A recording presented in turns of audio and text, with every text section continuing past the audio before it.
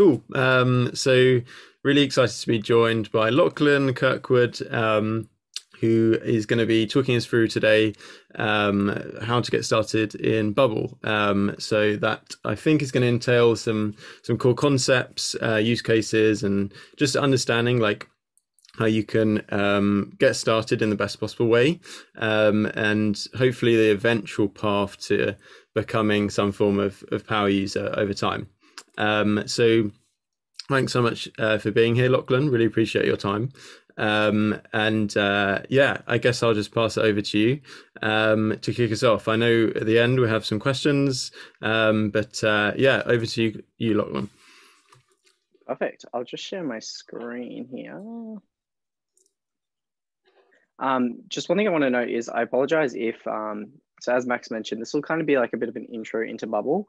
There will be some talk about how you can eventually become a power user, but I apologize if you are, like Kelly, a little bit into Bubble. Some of this is going to seem pretty obvious to you, um, but hopefully there will be some sort of valuable uh, context that you can get out of it.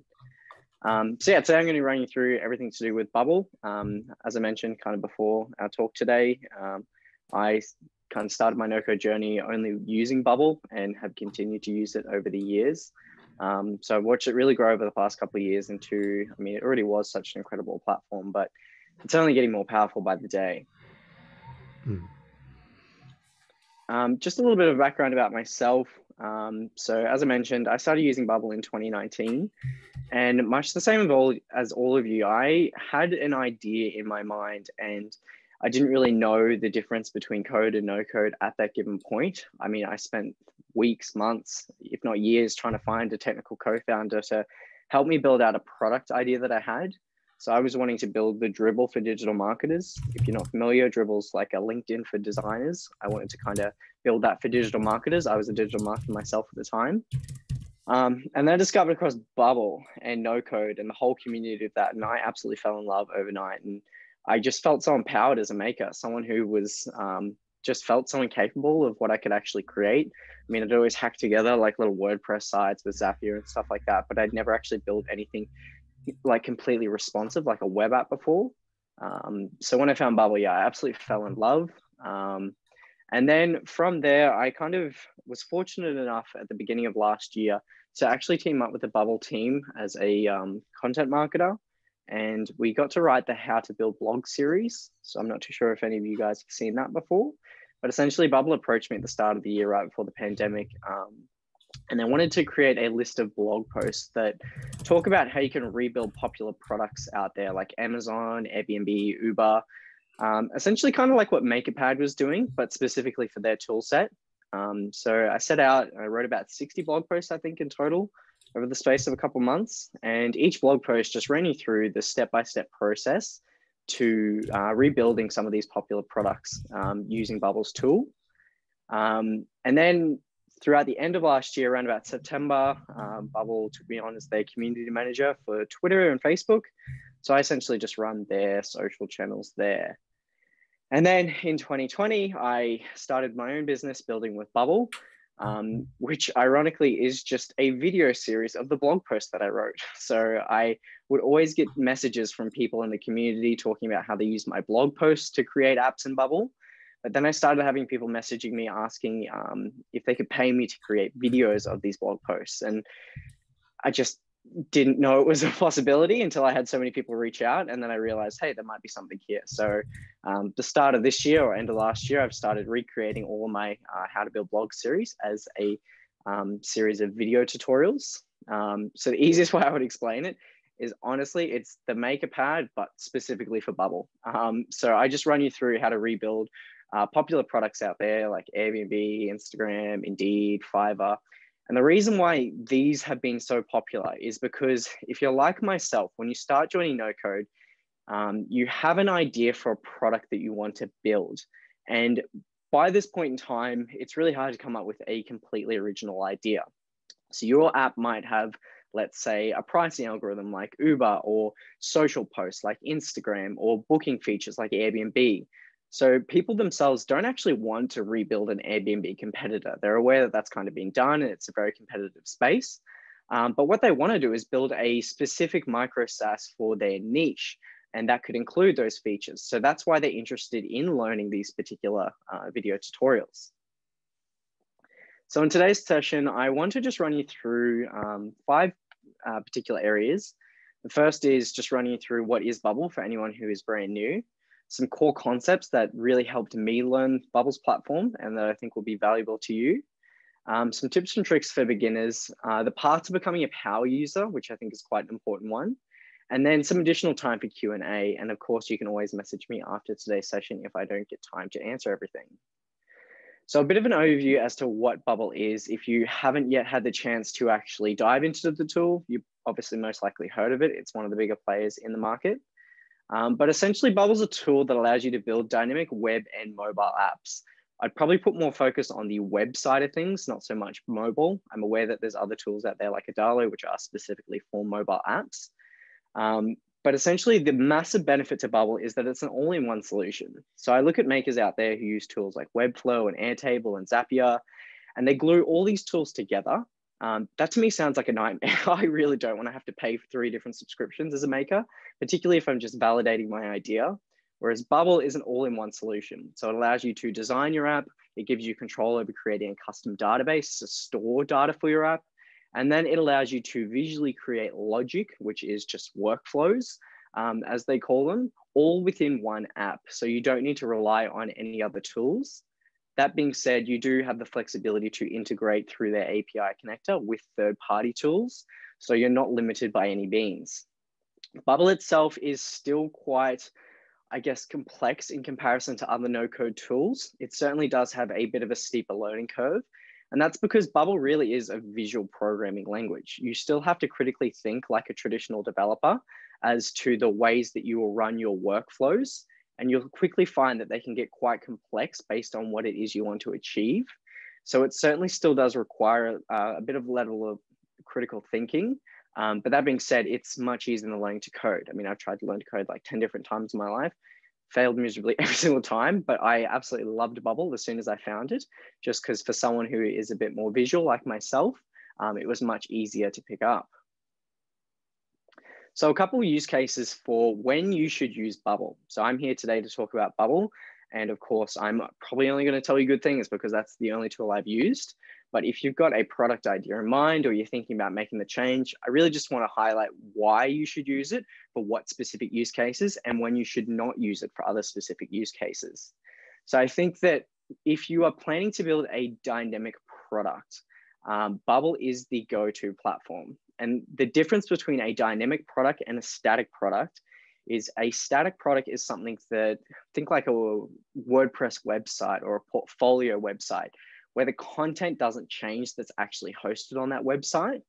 Um, I find that tools like uh, WordPress, Wix, Squarespace, they're great tools for building static websites that are responsive and fast, whereas Bubble is more for building web apps, as I mentioned. So these are kind of applications where you dynamically need to display different information, particularly to different user accounts. So think anything like a social network or a SaaS application.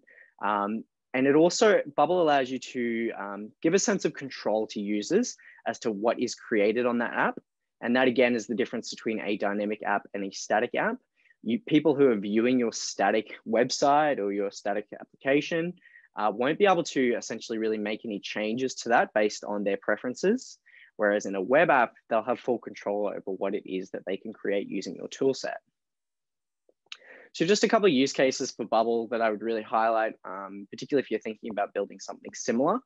Um, this is definitely what the, well, the right tool for the job for you. So if you're building anything like a directory, a marketplace, a social network, a software tool, um, or an on-demand service, these are just a few examples.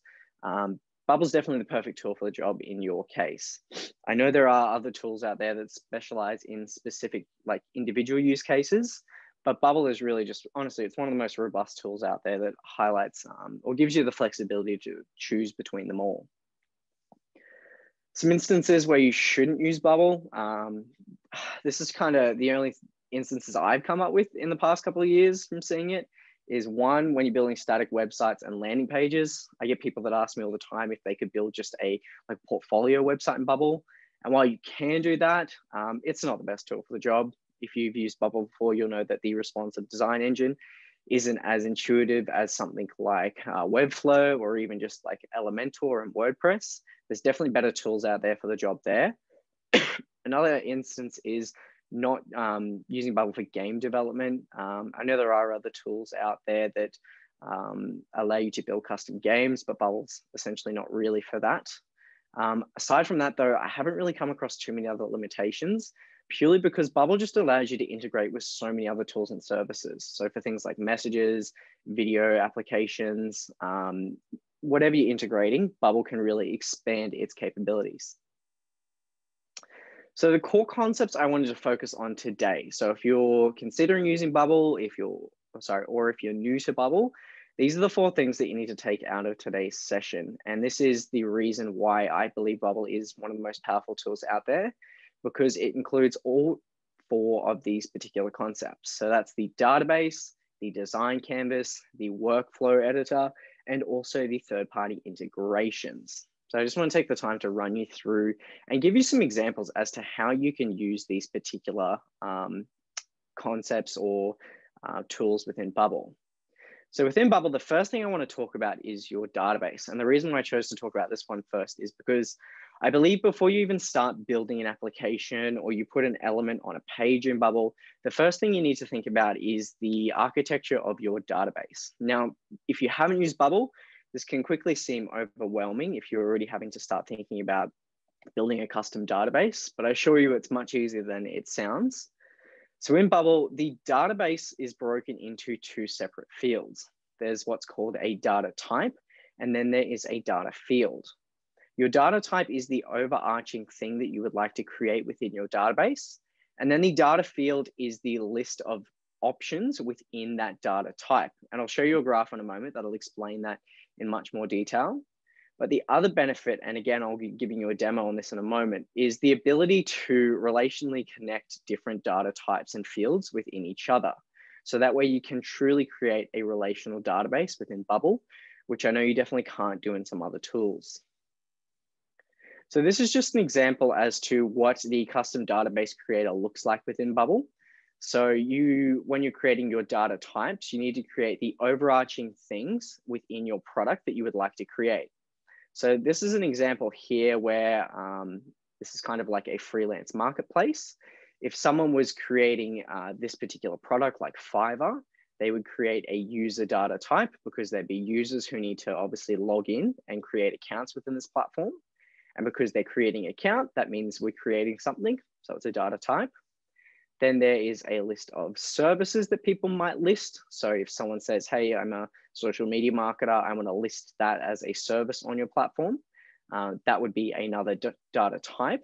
And the same goes for the products there. And then within these data types, so let's say here we've got our user data type, we could add in a list of all the relevant data fields. Now, these data fields are the things that belong to this particular data type. So for every user that I register in my platform or every user that signs up an account, I could store all of these different data fields within that one account. So for instance, I could identify like what their account type is. I could allow them to add in a bio to their profile. I could store their credit card ID. That's through a Stripe integration. I could store their location as a geographical address. And of course I could store their name. And the list goes on. You can honestly store as many different data fields as you would like, although we'll talk about some best practices in a moment. But Bubble allows you to store things like files, addresses, images, uh, text properties, lists. Um, but I also just wanted to give you an example as to how you can start to create your own database if you are considering Bubble. So I'm going to give the example of an Instagram clone here today, because again, I think it just makes a lot more sense when you start talking in terms of products that you already know and use and you're familiar with. So the, let's say some example data types for our Instagram clone, um, just two off the top of my head that I had here was you would have a user data type because users would need to create a profile on your platform. And then users would create a thing within your database, which is an Instagram post. Then within both of these data types, you would add the relevant data fields. So for every user, once again, you would store their name, their profile photo, their handle. And then for every post that's created, you would store an image on that, a caption, and then a like count. So you can now start to see how the data fields will be nested within each data type. The other big benefit to Bubble, as I mentioned, is that you can create relational data fields. So let's say in our user data type here, I would like to store a list of all the posts that have been published by this user. Now, the reason I'd want to do that is because when you go to a user's profile, you'd want to see a list of all the posts that they've created across our platform. So what you can do in Bubble is you can create a data type that is storing a list of posts that have been published by this user. And then that would obviously store our separate data type, which is a post. And I could link every post back to this particular user. So on the user's profile, I could simply just add an element that chooses to display a list of posts that have been created by this user. And because these link together nicely, I can intertwine the data fields that are connected between the two. So if I was to give you a quick example, and I'm just gonna jump out of my presentation here and jump into Bubble. I've just got a little bit of a demo that I wanted to give in terms of creating um, your own data types and fields within Bubble. So just going off the back of my Instagram clone um, example that I was giving you, if I wanted, I could head into my data tab here. And if you're not familiar with Bubbles UI, this is how everything is built. So if you head to your data tab here, you'll see here, this is our option to add data types. And then there is our data fields within this data type. So I can already see here that we have our user data type stored in our database. What I could also do is add in the data type called post. I'm just gonna unselect that setting there. I'll create that. Another data type I could create is a comment because users on our platform would also be creating comments when they comment on posts. So I could add in another data type called comment. And then within these data types, I could begin to add the data fields. So let's say for our users, I want to register their names. I could type in a data field called name, and I will update the field here, and I can choose from a list of all these different properties that Bubble allows you. In this case, I want the name to just be a text field. So I can select to add that to our database. Now, I apologize if I'm running through this quickly. I'm just wary of time, but of course you can come back and watch this at any given time. I could also store, as I mentioned, a profile photo for this user. So I could select that this field type will be an image and I will create that. But let's say I want to store a list of all the posts that a user has created, as I mentioned before. What I would need to do is link our field here to our post data type. So the way I would do this is I would select to create a new field and I could call this published posts. And the field type will easily be able to link to all of our posts in our database. But because a user will post multiple posts, they're not going to just post one post. Um, said post a million times there. They're not going to publish one individual post on their Instagram profile. They're probably going to post thousands over the period of their time in our application. So what we'll need to do is select that this is a field here with multiple entries because we'll be storing multiple posts under this user. So I can select to create that. Then on our post data type here, I can also begin to add some additional data fields that are relevant to this data type. So in this instance, I could, sorry, I could add an image, which is the actual post image itself. And this would of course be an image field type. And another field that I could add is a like count because people will be liking this post. So I obviously want to keep a count of that and store a list of all those users who have liked that post. And the way I can do this is by creating a new field. I'll call this likes. And the way I'll be storing likes in an application is by storing a list of all those total users who have clicked the like button, which in our workflow editor, which I'll be showing you in a moment, we can easily add that user to this list. Now, if this sounds a bit confusing, it'll make a lot more sense when I show you a demo in a moment. But for this list of likes, I would like it to store a list of users. So I'll select the user field type. And then as I mentioned, this is a list because thousands of people could like this one post. So I'll be selecting that this is a list with multiple entries. And now because I'm linking this post data type here for our likes over to a user property, let's say a user would like to see a list of all those people who have liked their profiles. And then I'd like to display all of those users who have liked that post, and I'd like to display their profile photo as well as their name. Because I'm storing a list of users, this field type will also link back to our user data type, which means at any given time, I can pull out those users' names, their profile photos, or any other information I have stored within this data type. Just jump back into my slides here. So that's just kind of a bit of an overview as to a database example. Um, I will give some other examples in a moment about how you can kind of um, sophisticate your database a little bit more to help with the performance overall. Um, but that's just kind of a bit of an overview as to what you can do with bubble databases. One thing I'd recommend, and it's one thing I do in all of my tutorials that I create for my videos is I use Notion as a tool. I'm sure if you're using no code, you love it as much as me. Um, I'll normally create just a checklist in a Notion doc before I even start building my bubble app. And in that, I'll highlight what the um, overlying data types will be and then within that, I'll have bullet points of what all the data fields will be in that. And that way I really kind of format the structure of my database before I even jump into my editor and start creating anything. So I'd always recommend you do the same as well. Then after our database, I also want to talk about the design canvas within Bubble.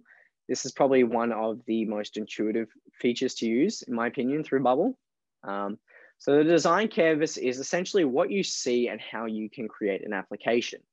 And I know that some no code tools um, are quite restrictive in terms of where you can drag certain elements or components, um, whereas Bubble themselves gives you full control over where you uh, add your elements, which can kind of be a blessing and a curse when it comes to responsive design. Um, but Bubble has a whole library of uh, elements that you can add, things like text, pictures, maps, videos, calendars, and you can also add additional um, elements through uh, plugins and integrations, so things like charts or payment portals and things like that. So the design canvas is really as limited as your imagination there. So within your design canvas, they break down, and I'll show you in a moment, they break down what particular elements you can add based on a couple of different properties. So you start with your visual elements, which are essentially just static elements that will display on your page. So let's say you want to display some text, you can choose to add that element there. Um, but let's say if you want to start storing information within your application, there's some additional elements called input forms. So this allows you to add what's called like a text input. So someone can type into a field and then you can store that in your database. There's things like drop-down menus, date time pickers, um, search boxes that you can customize and pull data from your database, uh, file uploaders even. Um, there's just there's plenty of different ways that you can allow users to store data and information within your own database. Um, so that's why I normally recommend building out your database before you start actually designing your canvas. Um, so that way you know exactly what it is or what input forms you need to include on your page in order to reach the minimum features that you would like to build. But if I was to just give you a quick example, again, working around our Instagram clone here within the design canvas, so I've just got a very basic homepage here. Um, I've added in a static text element here, which just says Instagram. I've given it a custom font. Over here, I've added in some icons. Um, so you can just grab an icon and you can search through the icon library here. I've added in a couple, one for a user's profile, one to upload a particular post. Um, but let's say I'd like to add in a list of all the posts on our homepage. I can use what's called a repeating group element, which for some other people who are using different no-code tools might be called a list group. Um, but what a repeating group allows you to do is essentially display a list of anything you're storing within your database. So you can see here that it's formatted as different rows and cells. And for each row here, you can display a different entry that you're storing within your database. So the way I can integrate this with my database through our visual element is by linking this to a data type I have stored. So in this case, I'd like to display a list of the posts within my database. So I can select the post data type that I created before. And then let's say I just want to display a list of all the posts within my platform that have been created by users. I could update the data source here to search through our database and find all of the posts. And if I really wanted, I could add some what's called additional constraints. So I could add a constraint, for instance, to display only posts from uh, accounts that users are following or only posts from accounts where a user's location where they published that post was in a certain range from the current user. You can really get as complex as you want with these. Um, but as it stands, I'm just going to, in this example today, pull through a list of all of the posts within our application. After I've updated this data source for this uh, particular element here, I can then update the style and the content that I would like to display. So I can update the number of rows that this uh, repeating group will display. And then within this, I can grab just a visual element here, which is an image, because I'd obviously like to display an image for every Instagram post. And then within this image, I can pull data from my database that's being sent through to this repeating group that it sits within. So in this case, because I'm pulling through a list of posts, I would like to display the image associated with each post in our database. So I can add dynamic data to this particular element here, and I can choose to display the current cell. So the particular um, post that's been displayed in this repeating group, I will choose to display its image. And now that will fetch the relevant data and display the image accordingly. And then below this, I could add in, let's say, the user's name who published this post. Um, so if I was to do that, this is actually a good example here of um, how you can use a relational database. So let's say below this image here, and I apologize, I'm not focused at all about design right now. I'm a bit conscious of time. Um, but let's say I'd like to display the name of the person who created this post. But of course, our user data type and our post data type were completely separate. But this is where Bubble's relationship, um, sorry, relational database comes in help handy. Um, so if I insert dynamic data here and I'd like to display the name of the person who created this post, I could choose to pull the current cell's post, so the post within this repeating group cell, the creator of that, so the person who uploaded this post, I could display their name, which is of course a data field that we added before. And now you can see how we can intertwine both of those different data types and display a list of relevant content. Just gonna jump back into my slide deck here. That's just a really brief example as to how you can start to customize your own uh, design canvas, particularly for our Instagram homepage there. Um, the possibilities are honestly endless as to what you can do within Bubble. Um, so yeah, I definitely always recommend just jumping in and experimenting with what you can find. The next thing, and this is probably one of my favorite things within Bubble, is the ability to create workflows. So I know that um, tools like Webflow, for instance, they allow you to integrate with other tools like App, uh, Zapier, which can then um, pull and store different data from like an Airtable database. Bubble allows you to essentially do the same thing, but completely within its own platform. Um, and workflows are essentially a way to create logic within your application which is traditionally something that was obviously held only for developers to create through code. But essentially workflows, they allow you to create functions. So you could say if X happens, then do Y. And then you can choose from a list of options or actions within your uh, bubble editor, much like you would in Zapier. So if you're familiar with Zapier, um, you could say when like a new entry in a Google Sheet is created, uh, send that data through to an email or something like that. Um, this is much the exact same as that, only you're doing it within Bubble's platform. The beauty though to workflows is that you can add conditions and constraints to these specific workflows. So you could say instead of if X, do Y, you could say if X is A, but X is not B, then do Y. So you can really start to get particular about the particular, sorry, about the specific workflows um, that run within your application and that's quite helpful if you're building an application for multiple users um, because different users will have uh, different journeys within your application. So some people, let's say if you're building a SaaS application, some people might be listed as admins, some people might be listed as editors. Um, so you can start creating permissions across different accounts. So you could say if X user is an editor but not an admin, they can have these features, but they can't do this particular functionality. So that's where workflows can get quite powerful. Um, but workflows allow you to essentially connect your visual element from your design canvas with the back end of your database that you create within Bubble. This is just an example of what a workflow looks like. And I'll be running you through a real case example of how we can create this within our Instagram clone here today. Um, but essentially this workflow here, um, I'll run you through every step of this process that's happening. Um, so at the moment, it's identifying only when the current user is logged in. So I'm referring to my Instagram clone again here in this use case.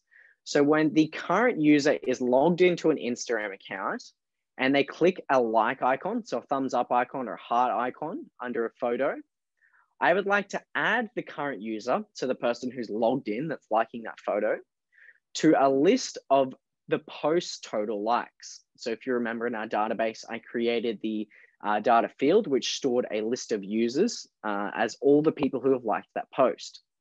So in our bubble editor here, we have our workflow trigger. So when my icon, which is the like icon is clicked, I've selected an action below this to make changes to a thing. The thing I'll be changing is the post that the person is clicking on. And the data field within that post I'll be changing is the likes, which of course in our database was stored as a list of users. So I will be adding to it the current user, so the person who's logged in. And I've also added a condition to this workflow to only allow it to run if the current user is logged in. So let's say a user doesn't have an account or they're not logged in, this workflow won't run. And then I could create a separate workflow that could trigger a pop-up that says something like you need to register an account to uh, process this action. So if I'm to quickly just show you how you can build workflows in um, real time within Bubble, um, I apologize if I'm gonna kind of zip through this a little bit quickly, but let's say I'd like to build that exact workflow that I just showed you. So being able to create a like within an Instagram post here. I could choose to add an icon. Again, I am not too concerned about the design right now. Um, I would add a heart icon. And then when a user is scrolling through our application, they could click this icon. So when this happens, I would like that to be our workflow trigger. So I will select to start edit a workflow. I feel like anyone watching this recording is probably going to cringe that I didn't update the name of that element, but that's all right. Um, and then once this workflow has triggered, uh, or once this icon has been clicked, I'd like to add a condition to this to only allow it to run if the current user is logged in. So here I've got my trigger and here I've got an option to add a condition. So only when, and I can select only when the current user is logged in, this workflow will run.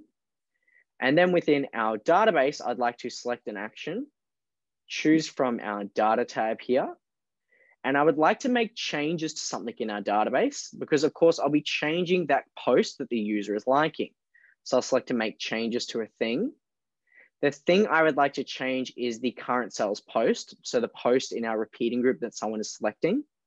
And the data field I would like to change within this is the likes, which was registered as a list of users, if you remember in our database. And I'll be adding to it the current user, so the person who's logged in liking this post. But let's say I would also like to create a workflow that allows a user to unlike this post. So let's say they're scrolling through someone's feed, they're 52 weeks deep, and then they've accidentally liked one of their ex's photos. What we'll need to do is create a workflow that allows them to now unlike that uh, post as well. So what I could do is create a separate workflow here. I will choose the same trigger. So when an element is clicked, and the element will be our heart icon.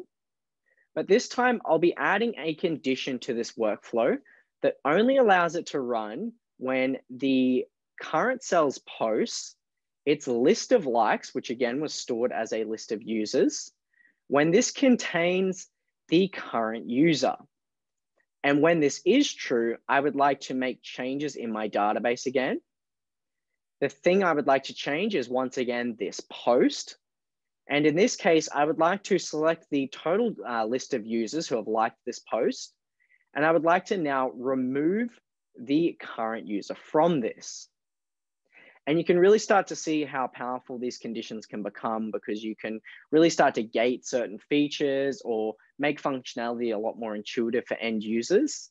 And there's a ton of different conditions that I could add to these things. Like here, I would also be able to add um, when the person already has liked this post and they are logged in.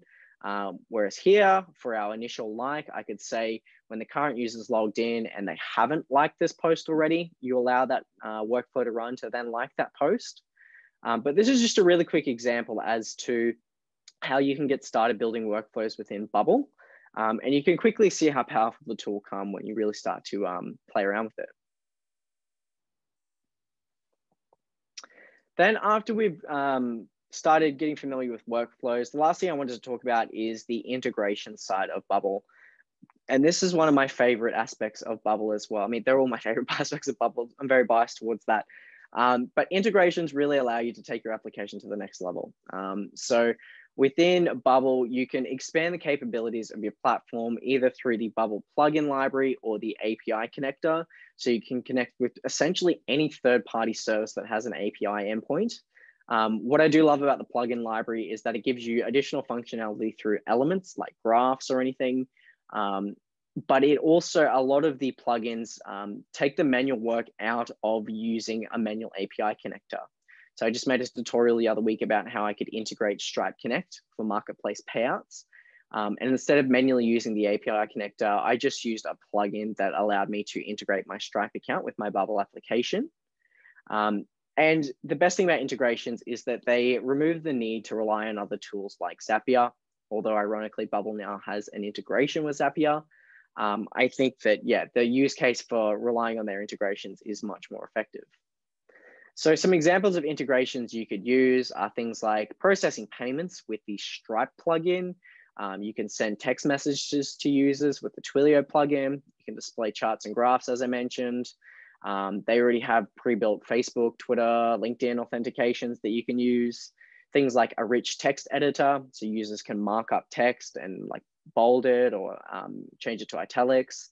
Um, or of course, you can use their API connector, which allows you to integrate with other third-party services. I just wanted to show you, if you haven't used Bubble, uh, what the plugin library looks like. Again, I apologize if you already are using Bubble. This is going to be very familiar for you. Um, and you're more than likely going to be aware of what happens next when I select the Bubble plugins. I'll add a plugin. It's a little bit slow to add plugins. Um, but let's say I'd like to search for Stripe plugin within my uh, plugin editor here you can see that there's a list of a bunch of different Stripe um, plugins that allow me to uh, process different types of payments and different types of circumstances. Um, you can also see if I just go into the full library here, uh, just a list of all the other different types of um, different plugins you can use. So making things like draggable elements. I've used that when I was building a Trello clone to allow people to drag tasks between rows. Um, there's additional things like a multi-selector dropdown, uh, Discord integration. The list honestly just goes on.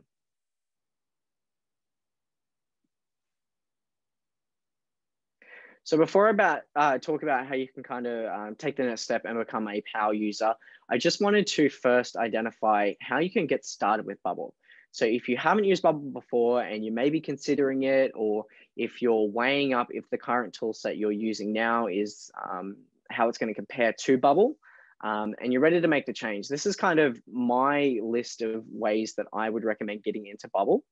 Um, so Bubble themselves has really put a lot of resources into creating some of their own um, video and written blog resources at the moment. Um, a really great example and a very hidden gem that I don't see many people using is the Bubble Academy. Um, it's filled with a ton of different uh, walkthroughs for their tool set. Um, but one of my favorite things is their fundamentals video series. So they have three of these, and this is a video series, and each of these has about five to 10 different videos. Um, but essentially, each one gradually helps you learn Bubble in an engaging way. And I'm all for video um, because you can pause it, you can rewind it, you can really um, have someone explain it to you in real time um, at a pace that suits your own learning style. Um, so the three different fundamental series, if you go over to the Bubble Academy on their website, there's the 101, which is just the general introduction to core concepts. This one's very basic. Um, this is more for people who kind of haven't really heard of Bubble and what it can do. The 102 fundamentals, though, is where they really start to talk about um, what I've touched base on today, but in more depth. So they talk about all the different types of elements, how you can uh, leverage the most out of your database, how you can get the most out of your workflows. But one of my favorite ones is the 103 fundamentals because it walks you through the process of actually building your first app. So there's about 10 videos in this series. They're all quite in depth and it literally walks you through the step-by-step process of creating a recipe directory. So it talks about how you can set up your database, how you can build the responsive design, how you can um, customize all your workflows that you need. And by the end of it, you actually have a working application that you can use. And these are all entirely free. So this is why I always recommend these resources to everyone. The other main resource, and I'm very biased in saying this, but it is the How to Build Blog series that I wrote for Bubble. Um, in all seriousness, this is a uh, really good way to get into Bubble if you are looking to build a specific thing. So as I mentioned, I find a lot of people want to start using Bubble, not to recreate an Instagram clone, um, but to actually just learn how to create a specific feature within Instagram. So whether it's liking posts, publishing something, or displaying a user's profile. Um, this is a free series of written articles on Bubble's blog, and it just breaks down step-by-step written instructions as to how you can rebuild um, these particular uh, products within Bubble. The other way of getting started with Bubble is by far my favorite. It's just do it. Um, start by doing. Uh, I always say that Bubble clones are the best way to start because you don't need a product idea to start building something. Um, I know a lot of people are just interested in no code, but they don't know where to begin. I always recommend just starting to build clones because it'll give you an understanding of how you can create common features that you're most likely going to uh, recreate within your own application when it comes time. Um, if you get stuck along the way, use the Bubble Forum. It is an absolute dream. Um, there are so many active community members on there that will happily answer any of your question, uh, give you step-by-step instructions on how to solve problems. And it's already a repository of amazing insights about people who have already gone through the same process of you, who have had particular problems, and then they have community members solve those. So it saves you having to even ask a particular question in the beginning. And my other favorite method is just by doing, you get better 1% each day, which is kind of the motto for 100 days of no code, ironically. Um, so when I first started with Bubble, I didn't really know about this. And I feel like I did it before it was mainstream, but I did 100 days of no code by myself uh, in my room. It was about three and a half months, four months. I built my application for Dribbble for digital marketers. Um, and I didn't realize at the time, but yeah, it was about three or four months. And by the end of it, I had my dream working product. Um, functioning the exact way I wanted. I had a really great understanding and I built everything of the backbone of what I've learned in that time using that application. The best way to get started is really just by doing, diving in, getting your hands dirty, and don't be afraid to ask questions when you can. There's so many uh, great places for communities like 100 Days of No Code, Twitter, uh, the Bubble Forum. There's no shortage of people who are willing to reach out and help. The last thing I wanted to touch on is becoming a power user within Bubble. So let's say you get the basics down and you're really interested in uh, taking your application to the next level. Um, there's a few specific things I would recommend uh, to help you get the most out of your own Bubble experience. And I apologize if you're new to Bubble, you haven't heard of Bubble, these might be a little bit confusing or overwhelming. But the first one I recommend is sharding your database. And what I mean by this is splitting your data types into as many different data types as possible. So in my example today, I gave you um, a walkthrough of how we could create an Instagram clone. And when I was creating my database, I had my users, my posts, and that was it. What I would recommend doing is if you have your post, let's say, in your data type, and then within that, you've got a data field, which is your images. Then you've got your likes, you've got the creator of that, you've got um, the name of the person who created that. Um, all of this data really does add up when you start to store it in your database. And I know scalability is a really sensitive topic when it comes to no-code tools, although in my opinion, I think it is definitely getting better. Um, but what I would recommend doing is uh, sharding your database. So for your post data type, you could split that into two different data types. So you could have your post, and then you could have the content of the post. And the post itself, the main data type, would be what you show in your actual homepage. Um, so this could just be like an overview of some really basic data. So like who the creator of it was, the like count of it, um, any other additional information that you need to um, allow the user to see something to begin with. Um, and then in order to, so you're not loading an image every single time you need to pull out a post from your database, you could split the post image as a separate data type, not just a data field, and you could connect the two. So that way you're only then loading the post images whenever you actually need them, as opposed to just telling the bubble editor to load all posts with all the images, particularly with images, files, and videos. They're going to really overwhelm the editor and slow applications down. I've been burnt before in the past doing that. Um, so it's definitely recommended that you start sharding your database into different data types. There's plenty of great um, kind of resources, ebooks that I've seen out there that really talk about how you can do this in best practice as well. So I recommend checking those out. Um, another great tool that I use all the time is custom states within Bubble.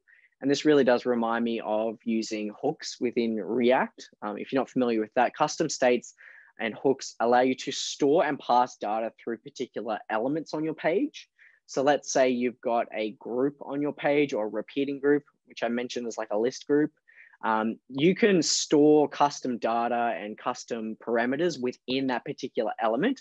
So that way you're not pulling data from your database, which means that you, one, have to store less data in your database, so your application is going to be faster. And then two, um, you can just pull that data whenever you need it, as opposed to having to load all that data through your database as well. And then another hot topic is responsive design. Um, I know this one's a little bit confusing. Um, there's plenty of great tutorials out there, particularly from Greg at BuildCamp. He's doing an amazing job talking about responsive design. Um, I would also keep an eye out for Bubble. They're releasing a new responsive engine. Who knows when at this point, um, but it's going to be using the Flexbox, which is similar to uh, Webflow. So it's, from my understanding, going to be a lot more intuitive. Um, but it's definitely easy to create a powerful application in Bubble, but although it will be powerful, you need to make sure it is obviously um, a really nice user experience for your end users as well. So responsive design is a big one that you will need to master eventually. Um, and then there's the thing like the API connector and creating your own custom integrations to pull external data. So a good example is I was building a trading app um, for a Bubble tutorial um, which was just like Apple stocks. So that's where you log into an app and you see a price of all these stocks in real time. Um, and I was able to use an external API to connect with a um, essentially a library of real-time stock data information. And I could just integrate that with Bubble easily and update that in real time. Um, so whenever a user logged in, they would see the most relevant information about that stock price but that's essentially everything I wanted to cover today. Um, I apologize if there isn't anything I haven't covered yet, which is why I want to give a little bit of time for questions. On the other side, I also hope I haven't overwhelmed anyone. I think Bubble is a really powerful tool to get started. Um, and it definitely has its perks and its drawbacks, just like every other tool out there on the market. I'm open to questions if anyone has any.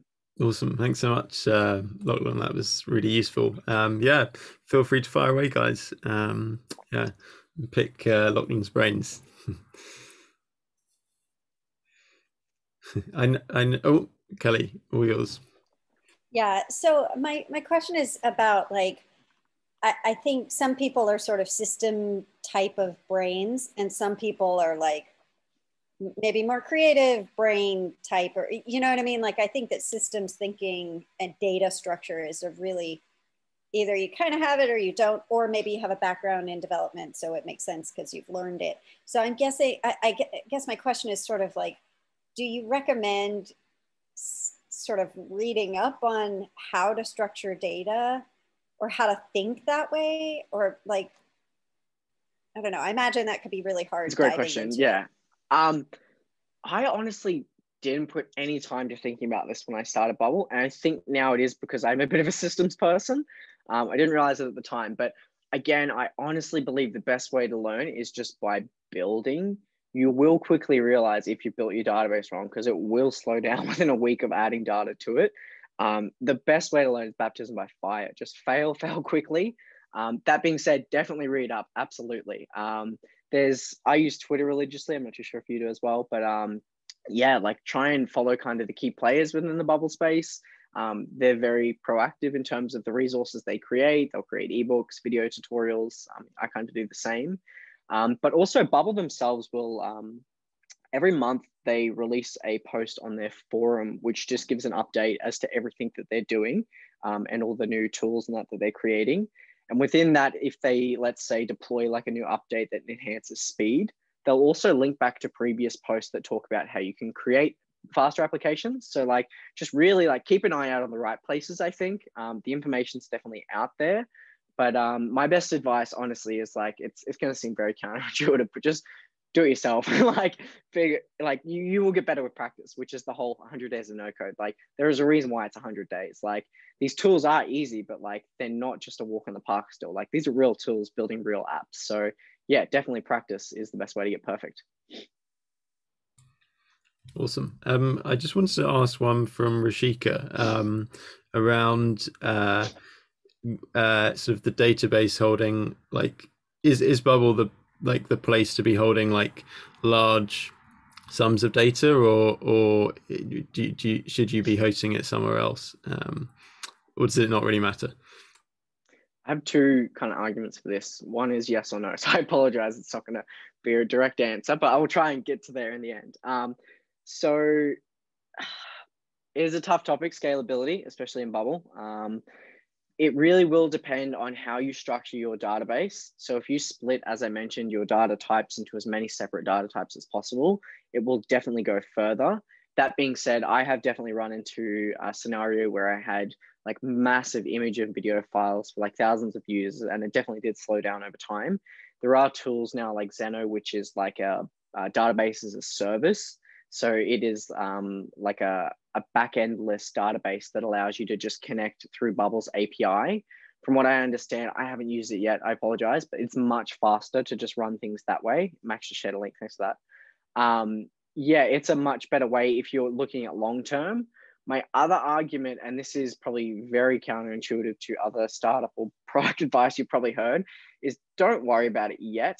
I could tell you how many times I've spent building like months building applications that I think like is going to work. It's going to scale. I need to worry about these features. And literally two people used it. And my mum's probably one of them. So you need to not worry about that until it's a problem, which of course then there's the counter arguments from that about like tech debt and like how much that will be. I think like there is a fine line where you do need to be thinking about it and just know that there are tools out there that can do it like Zenix, uh, Xano, sorry. Um, worst case scenario, you could also just like, if you really wanted to um, just like host your own AWS like Lambda instance. Like you have the API connector to be able to do that as well. So I think scalability is an okay thing with Bubble. Um, whether or not you reach that maximum scale, you will have a solution for it. Awesome. Um, yeah, thanks. Uh, yeah, it's definitely one of those it depends uh, sort of questions. They're all it depends questions. It's horrible because like I hate when I like people give it depends questions. That's all good. Um, Cool. Um, and I see we've hit the hour. Maybe time for one more question. Um, uh, yeah, before we wrap up, because I know it's getting a little bit late where you are, uh, Lachlan. So uh, yeah, feel free to come off mute, anyone. Um, I will just note that um, my DMs are always open on Twitter. Um, my email address is always awesome. out there as well too. So if you have any questions at all, um, even if you're just building something cool, like tag me. I'd love to see it. I'm always excited to see what people are building within Bubble. Um, so yeah, I mean, even if it's not Bubble, I just love no code. So tag me in whatever you're building, Adalo, Webflow, Zapier. I want to see it. Let me. I'll drop the link. And is there any closing words you want to share, Lachlan? Whether that's um, to, you know, sending people to building with Bubble. I think I've actually already sent the link, so you're all good. But you can say it again. Yeah, whatever. Any closing words would be amazing. Um, my best advice is yeah to just start by doing. Um, I think that's the only way that I got into it, and that's kind of my personal approach to a lot of things that I've learned with no code, and I mean also building a business. That's another story. Um, but yeah, just um, try and use all those resources I shared. I mean, I'd love to plug mine, but they're all paid resources. I think you can get so like you can get quite far with all the free resources that Bubbles put out there. a million dollar startup, like they're paying to use these resources, so definitely make the most of those while you can. Mm. Um, but yeah, just try and make the 100 days, um, get through as much as you can and build as much as you can in that time. Mm. Awesome. Um, very wise words to, to end on. Um, awesome. Cool. Well, uh, thanks everyone for coming, and uh, I'll see you uh, on Twitter and Slack and elsewhere. Um, but thanks again, Lachlan. Really appreciate it. Been been an immense presentation. Thank you. Catch you guys. I appreciate Yeah. it. Cheers. Bye bye. bye.